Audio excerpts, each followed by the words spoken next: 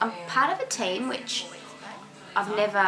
really experienced bar once in my life and you know there's 22 of us at the moment training and I'm getting to know people and there's this camaraderie that's building which is it's, it's really nice and it, it makes me feel like I'm part of something.